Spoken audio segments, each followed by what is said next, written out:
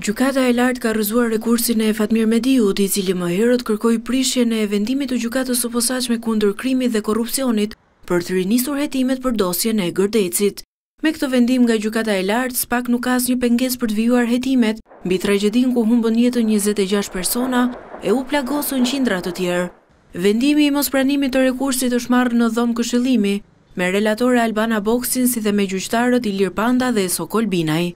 Më një nëntor të këtij viti, Mediu iu drejtua Gjykatës së Lartë për të rrëzuar vendimin e gjykatës. Pala mbrojtëse tha atëherë se vendimi ishte antikushtetues. Ndërkohë, më njëzet e katër shtator të dy mijë e njëzet e njëshit, Apeli i Posaçëm me kërkesë të familjarëve të Gërdecit pranoi kërkesën për gjykim duke e përballur Fatmir Mediun me tragjedinë Gërdeci. Nga ana tjetër, SPAK tashmë ka filluar me pyetjen e dëshmitarëve dhe personave të prekur nga tragjedia. Pjesë e marrjes në pyetje do të jenë edhe ish-zyrtarët e lartë në periudhën e tragjedisë me pesëmbëdhjetë mars dy mijë e tetë.